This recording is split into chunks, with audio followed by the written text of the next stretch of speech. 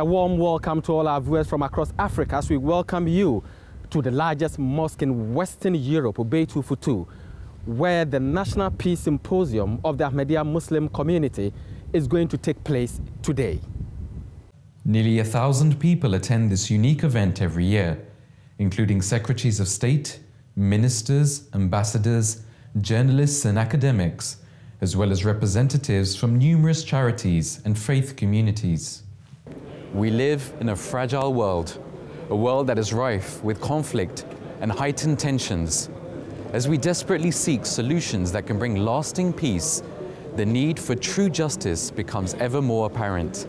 And that is a theme of this evening's event, the highlight of which will be the keynote address delivered by Hazrat Khalifatul Masih V, may Allah be his helper, the head of the worldwide Ahmadiyya Muslim community who will inshallah be gracing this evening's event with his presence. Amidst the backdrop of global political instability, religious intolerance and extremism, with attack on Westminster recently case in point, the Ahmadiyya Muslim community has taken the lead in the promotion of interfaith dialogue. Tonight's event is another showcase of the true teachings and beauty of Islam. This is truly a much needed and unique event. And on behalf of the Ahmadiyya Muslim Community United Kingdom, we welcome you to the 14th National Peace Symposium 2017. It was very important because it came at the end of a week where we'd had a terrorist attack in London, and I was, as an MP in Parliament, the day that it happened. And I think the chance for everybody to come together, not just for my local community, but for many across London, um, and to reflect on Islam as a peaceful religion was really important. In the UK, one of the things we've really focused on is making sure that we have British values as part of our schools, and these are values that many countries share actually rule of law, equality, democracy.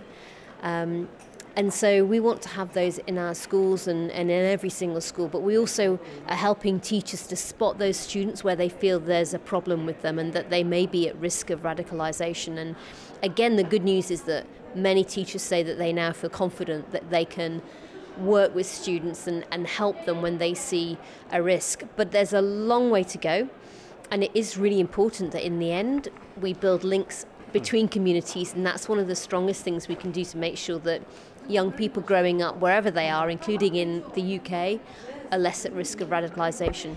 Right. Um, others believe that negative media framing of Islam has in a way isolated a lot of um, Muslims and this has um, created a situation where they would want to engage in extremist activity.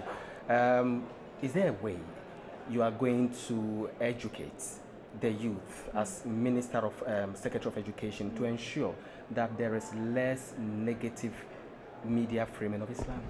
I think that we can work very effectively with mosques to make sure that true Islam um, is the one that young people learn about if that's their faith. And what's interesting is when you see some of the work done with young people who become radicalized and you they're asked about whether what they know about Islam actually they have a false impression of mm. this religion that is for them they say driving their actions so the key is making sure that people really know the faith that we're all talking about. Mm. And again, the Peace Symposium is a fantastic opportunity every single year that we have here to bring communities together of all faiths, not just uh, the Muslim faith, but, but different parts of our community. And fundamentally, we're a very mixed community here in London and in the UK. And we get on because people actually come together and we focus on all the things that we have in common.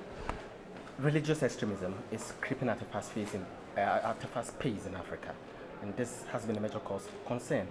Um, to the African audience watching you, what advice would you want to give to African governments, especially so uh, as to halt the rate of extremism on the continent?